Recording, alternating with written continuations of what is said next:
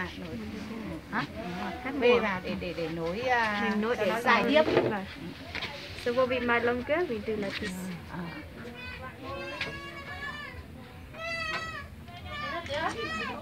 Like this, and then each one together. And then after like this, we had to uh, lúc này như thế nào sao mình lại lấy cái mà So để đun. Oh, yeah.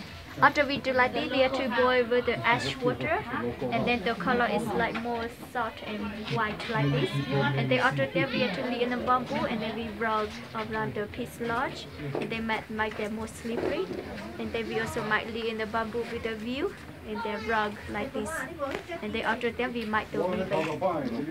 So this weaving với is cả anh bạn bây made from the hemp skin. So here we growing a lot of hemp. Anh có khách anh về anh ờ, tiếp khách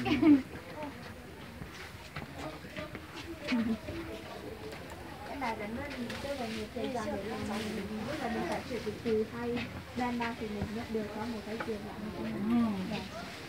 We have to prepare like two or three years before for make the longer or we had a video like this.